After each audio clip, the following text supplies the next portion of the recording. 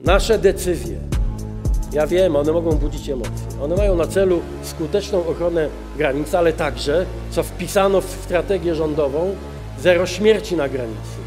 Zarówno po stronie migrantów, jak i po stronie pol- przede wszystkim polskich żołnierzy Straży Granicznej.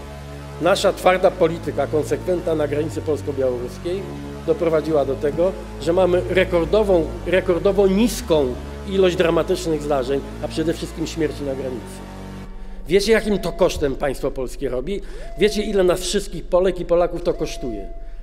Tysiące żołnierzy, policjantów, Straży Granicznej codziennie 24 godziny na dobę w pełnej mobilizacji. Każdy, kto tam był, kto z nimi rozmawiał, wie, jaka to jest ciężka służba. My szukujemy też instrumenty prawne, które zabezpieczą te granice. Wiemy, ile to jeszcze będzie wysiłku kosztowało, ale także po to, żeby tam dramatycznych zdarzeń nie było. Nasza polityka jest twarda, ale naprawdę humanitarna.